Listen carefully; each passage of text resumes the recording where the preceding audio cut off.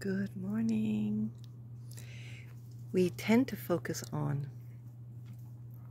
outwards instead of inwards, and we think the problem's out there. It's always inside us. When somebody comes to us with anger, hurt, frustration, um, something like that, that's on them, or that they don't like you, they want you to change, they want you to be different um, whatever it is. Or maybe they just don't want to be with you anymore or be around you anymore. That's on them and has nothing to do with you. And same thing with you. If you find yourself in a difficult situation where somebody else is causing you to be upset, angry, frustrated, anything like that, that's on you. Also, if you're feeling somebody else brings you happiness, and joy. And although they can, I mean, so it comes from you though, inside you. They're fun to be around, so you're having fun with them. The other people over here aren't very fun to be around, then that's why that connection happens, right? But you can still be happy and joyful around the people who aren't fun to be with as much as you can with the people who are fun to be with but you get to choose both. You get to choose how you feel at all times. You get to choose the thoughts that you're thinking. The thing, the thing that comes in is we're so programmed to blame everybody else instead of realizing, oh, that's us. So when we're in a, a love relationship and the other person does something we don't like, and we're like, hey, they shouldn't do that. Uh, well, that's what they chose to do.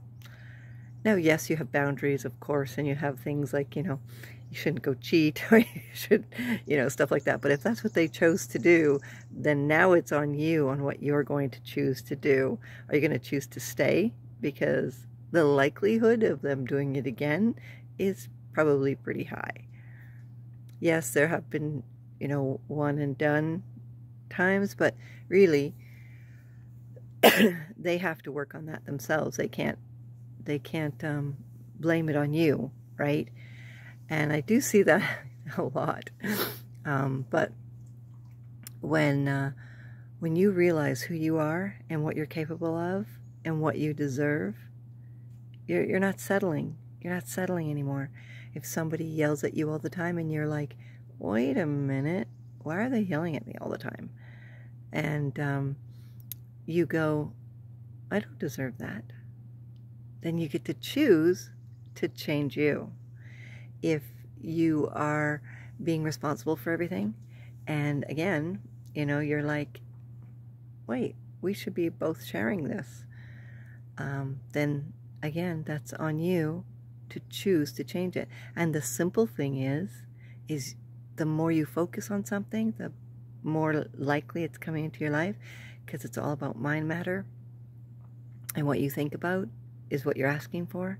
So if you stop thinking about that, and a simple a simple thing was that I I used to think um, for like the longest time I was in a in a difficult marriage, and I used to think um, at, at a point in my life I went okay this is what I want. I know what I want now. I know what I can ask for. I didn't know before that I could just ask for stuff. So I said, okay, this is what I want. I would like a better relationship. I would like to have a loving, kind, uh, romantic um, relationship where we communicate easily and um, and we're able to have fun together. I would like my partner to be a great dad who really wants to spend time and have fun and joke around with and play with instead of being angry all the time. I would like them to be happy. Not that they can't be upset about something, but that I'd like them to be happy and, and to work on themselves, definitely to work on themselves. And the more I focused on that, the more it happened, but not with my, um, not in my first marriage that grew, we grew further and further apart, and I didn't understand because this is what I was asking for. And then I started letting go and letting go and letting go.